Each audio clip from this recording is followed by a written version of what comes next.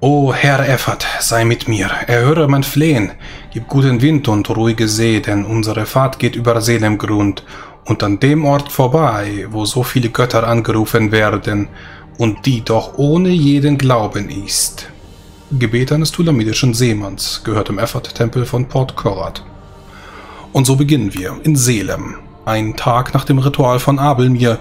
Ihr habt euch wieder zurück auf euer Schiff gezogen, den Satinath-Tempel verlassen und nun ein neues Ziel vor euch. Miamat. Die Effert-Geweihte hat mit ihren merkwürdigen Schriften euch dorthin gelotst. Ihr selbst habt sie auf dem Schiff unter Beobachtung und könnt nun tatsächlich aufbrechen, wenn ihr denn mögt. Und so beginnen wir in eurer Kapitänskajüte. Ja, Zulamin schließt gerade noch einen Brief an die Schule des seienden Scheins ab ob es denn denkbar wäre, dass man uns eine Abordnung schicken würde im Kampf gegen die blutige See etc. etc.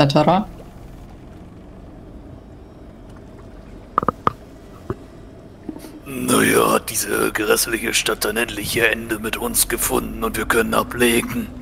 Ich habe das Gefühl, dass das nicht das letzte Mal ist, dass, dass es uns hierher verschlägt. Schließlich ist mindestens die Bibliothek, als auch einige der Tempel, ein hervorragender Hort an altem Wissen. Aber ja, ich schlage auch vor, dass wir uns vorerst schleunigst von hier Wir sollten nicht dieses Buch vergessen, was uns Tubrek gegeben hat.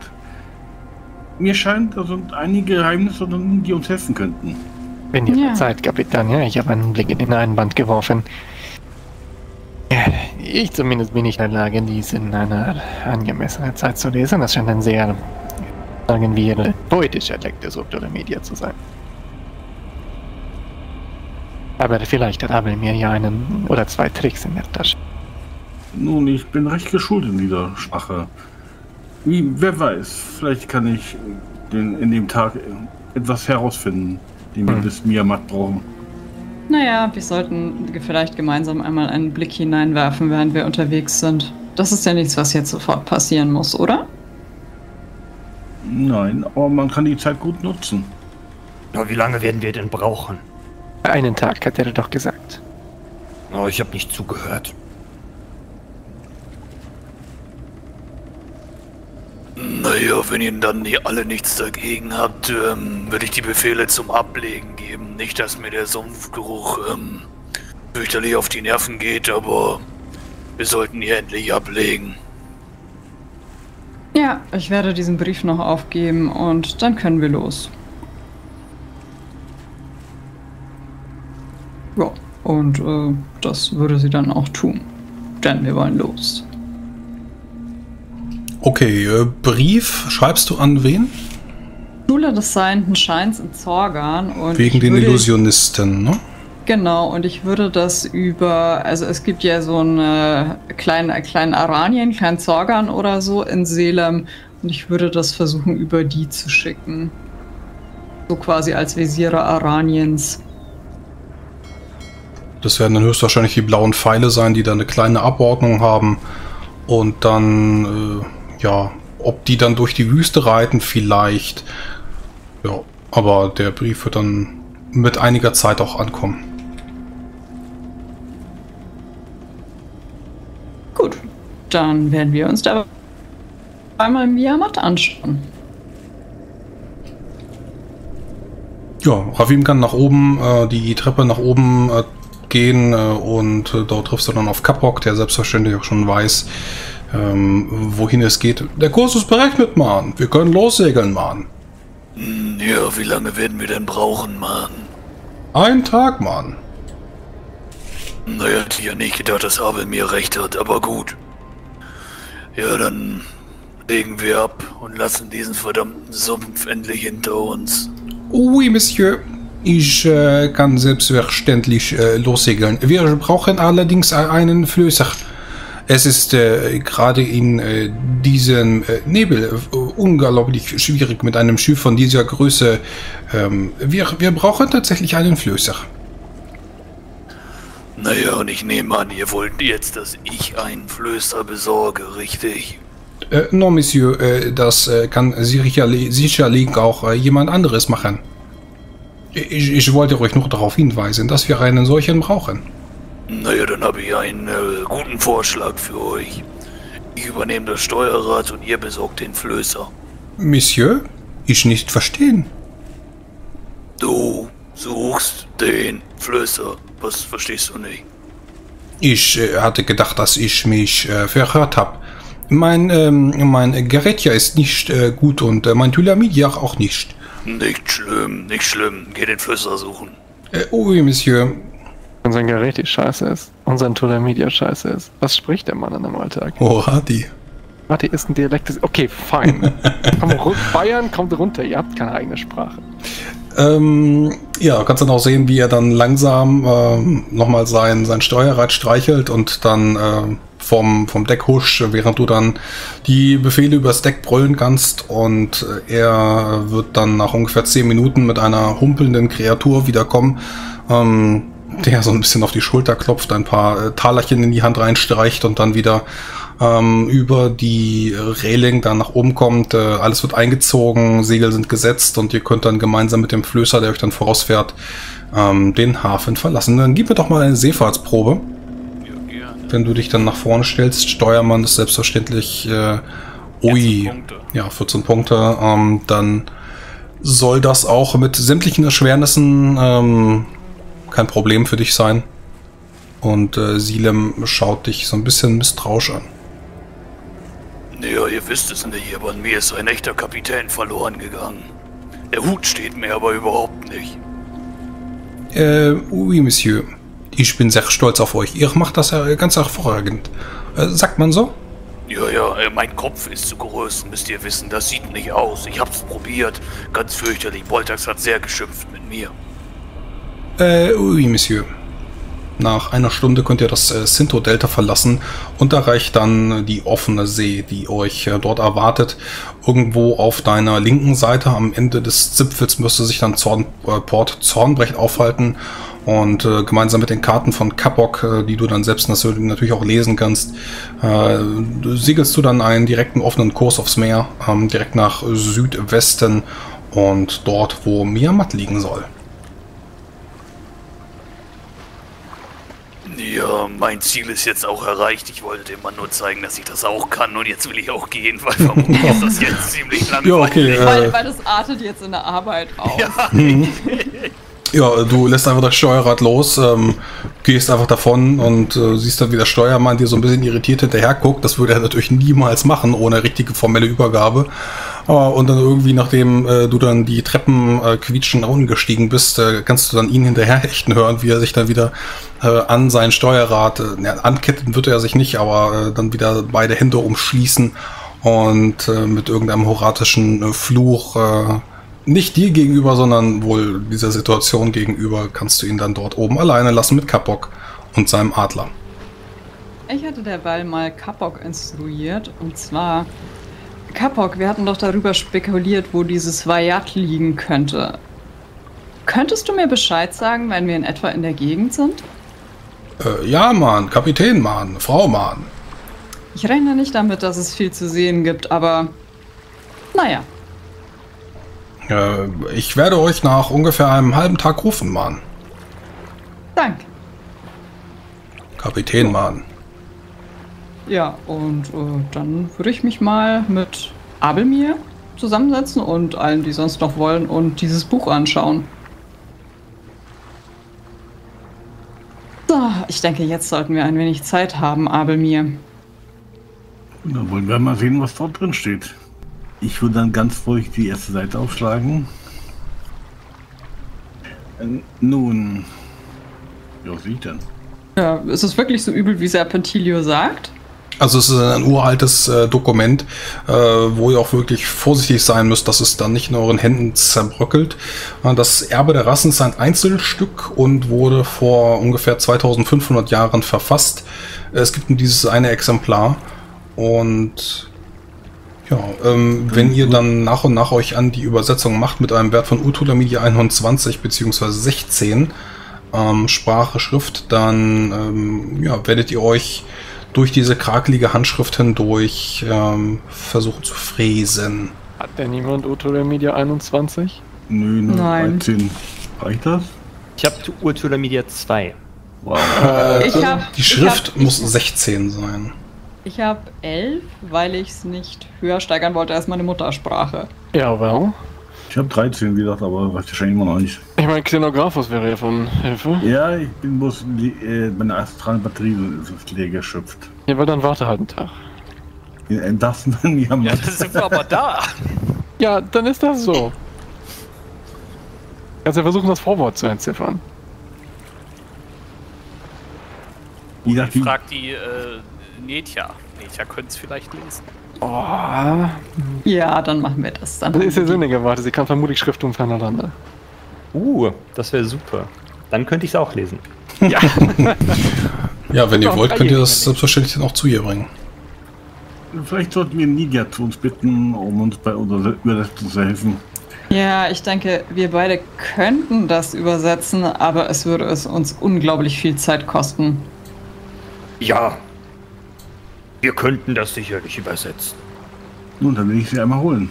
Ich würde dann aufstehen und äh, die Kabine verlassen und äh, rechts abbiegen zu Nitya. Oh, schön, dass ihr mich wieder mal einmal besucht, Abelmir. Wir bräuchten eure Hilfe bei einer Übersetzung eines alten Buches. Oh, sehr gerne. Äh, sehr gerne. Sie klappt gerade wohl einige Landkarten zu, die äh, ja, sicherlich auch schon 30 Jahre alt sind und erhebt sich dann, kommt dann mit zu euch. Oh, ein, ein altes Buch. Und äh, welche Schriften mögen darin stehen?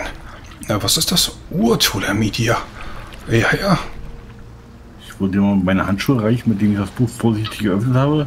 Ihr solltet vielleicht diese tragen. Ich habe eigene dabei, aber mir immer, immer dabei. Sie klopft sich so ein bisschen an ihren Bund und holt Sehr dann gut. nach einigem Kram aus ihrer äh, ähm, Gürteltasche ein paar Handschuhe hervor, die aus einer Bibliothek stammen könnten. An Bord eines Schiffes gehören sie zumindest nicht. Es ist eine recht eigenwillige Handschrift. Ich habe fast den Eindruck, der Schreiber hatte nicht im Blick, dass es noch jemand außer ihm selbst lesen können sollte. Ja, Ja, ja. Äh, Wollt ihr, wollt ihr mitlesen? Mit übersetzen oder soll ich es für euch einfach so transkribieren? Wie, wie hättet ihr es gerne? Es macht natürlich am meisten Spaß, wenn man es gemeinsam macht. Nun, ich bin stets daran interessiert, mein Urtula Media zu verbessern. meines ist, glaube ich, nicht so gut, äh, als dass ich das Buch lesen könnte. Ich wäre euch vermutlich keine Hilfe, auch wenn ich natürlich gern helfen würde. Vielleicht solltet ihr Protokollfehler und die Übersetzung aufschreiben. Äh, das ist hervorragend. Ich denke wohl kaum, dass wir die notwendigen Wochen, die ein solches Unterfangen dauert, Zeit haben werden. Aber ein kurzer Einblick kann nicht schaden. Ach ja, große Göttern, Schlangen gleich, zu dir nach Alvaran rufe ich. Hesinde, große Herren alles Wissens, höre mich. Hesinde, Allwandlerin, die du stets neu erschaffst, höre mich. Hesinde, große Weberin, Herren aller Zauberei, höre mich. Hesinde, weise Geberin der Schrift, höre mich. Hesinde, große Göttin, gewähre mir Einblick in deinen Hain. Ich bitte dich, teile dein Wissen mit uns und hilf ihnen zu verstehen. Ihr, ihr macht das schon. Viel Erfolg. Wir könnten noch etwas singen, während wir lesen. Äh, ja, im Frühtau die Zwerge Sizin Verlager. Das meinte ich jetzt nicht, aber nun, nun.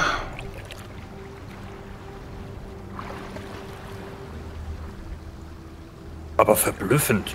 Äh, ich, ich kann das lesen, was da steht. Ja, so wie Nandus äh, seine Gaben gibt, so gibt auch er Sünde, selbstverständlich. Oh, das ist äußerst praktisch. Ja, dann danken wir ihr, dass sie ihr Wissen mit uns teilt. In der Tat. Schrifttum ferner Lande. Diese Rätsel sollen nicht verschlossen bleiben und ihr Wesen soll enthüllt werden. Also gut. Die Echsen, deren Erbe wir errungen haben, traten ebenfalls in die Folge einer anderen Rasse, von denen sie Götter, Sprache und Zauberei übernahmen. Wie das Mogulat dem Reich von Zetah folgte, folgte Zetah dem Reich von Vayat. Man ne Achso, könnt ihr das äh, chronologisch einordnen? Äh, Beutax, wann, äh, das müsstet ihr wissen, wann war Zetah? Oh, das war die Herrschaft des Drax. Korrekt, sehr gut. Ah, 100 Punkte für euch, Boltax. Wollt ihr Oh. ausführen? Äh, ja, in der Tat. Äh, Zeta war eins der großen Echsenreiche. Nun, äh, sie haben versucht, uns, uns Zwerge äh, übel Richtig. mitzuspielen. Richtig. Aber dann, dann äh, kam der erste Geode und ähm, hat es äh, mit den Zwergen geschafft, äh, es mit den Drachen aufzunehmen. Allerdings, nun, dann gab es eine, eine, einen Zwischenfall, über den wir Zwerge nicht so gerne sprechen. Ein Diebstahl aus dem Hort des Drachen. Ah, Das müssen, wir auch nicht, Sache. das müssen wir nicht weiter ausführen. Aber das reicht mir schon sehr gut. Also, ähm, vor dem Reich Zeta folgte das Reich von Vayat. Man nehme die bekannten Götter Kariban und Belkorton. Äh, Rafim, seid ihr wieder da? Wa- Was? Ihr wart eben oben. Ähm, ihr habt uns aus dem Hafen herausgesegelt. Wer war Belkorton? Ich bin ganz ehrlich, ich bin kurz eingenickt. Boltax hat wieder von Zwergen gesprochen und ich hab's. Äh, was? Also Bel ist einfach nur eine Vorsilbe und heißt Herr. Und Korton? Wer könnte das sein? Naja, das äh, klingt jetzt ja nach dem guten Herrn Chor. Also das mit den Genau. Namen damals, das Richtig, Chor richtig. mag ja seinen sehr kurzen Namen, das äh, können wir uns ja auch besser merken.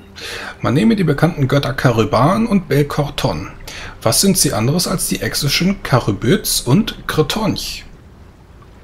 Kretonch von den Echsen ist also Kor. Was anderes als die geheimnisvollen Charybt und Kriken. Kriken? Was sagt euch das?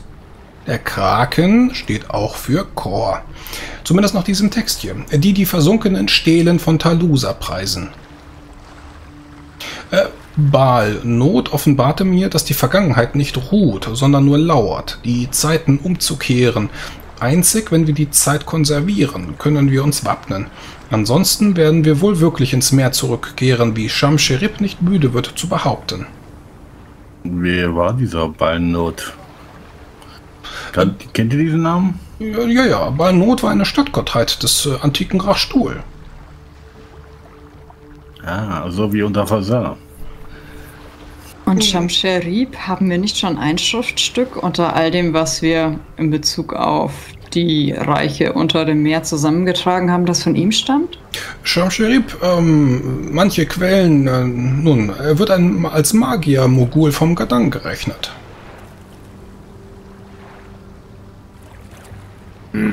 Wo ist der Gadang? Voltax? Nun. äh, da wo Zulamin herkommt. nicht Genau, genau, korrekt, korrekt, korrekt. Das Ja. heißt, ähm, all diese Texte, die über Vayat philosophieren, äh, zumindest dieser Autor war mit Vayat vertraut, wenn ich das richtig äh, nun einordne. Und er muss vor oder während des Reiches von Zeta geherrscht haben, beziehungsweise gelebt haben. Nun, und ähm, er bezieht sich hier auf äh, Rashtul, auf Talusa und auf die Magier-Mogule vom Gadang, also auf Fasar. Denn wo sonst gab es Magier-Mogule, wenn nicht äh, dort? Ist es vielleicht so ein Kopf da? Äh, nun, entweder ein Koptar oder ein Mudramul, je nachdem in welcher Zeit gelebt wird. Aber die meisten Mudramul ähm, stammen aus der Richtung Elem. Und die Koptanim waren wohl eher Richtung Kutjum anzutreffen, wo sie dann sich auch nach Fasar ausgebreitet haben. Nun, die Magier-Mogule haben viel von der Magie der Echsen übernommen. Das Korrekt. würde im Zusammenhang mit Zeta Sinn ergeben. Korrekt, korrekt, korrekt. Und er sprach ja davon, ähm, die Zeit zu konservieren. Vielleicht mit, mit diesen Scepter, die sie benutzen. Nicht verwandt und nicht verschwägert. Und wir haben eins, dieses, eins dieser Zepter noch. Genau. Wir können es bloß nicht benutzen.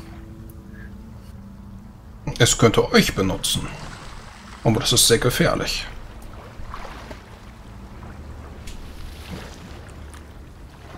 Und diese andere Gottheit, die hier als Beispiel neben Chor aufgeführt wird, wird wohl die Sultana der Seeschlangen sein. Möchte man meinen, nicht wahr? Karyban oder Karybyz oder Charybt. sollte doch relativ klar sein. Ich hätte das jetzt nicht weiter ausgeführt, aber ja, selbstverständlich könnte man auch daraus einen Test machen.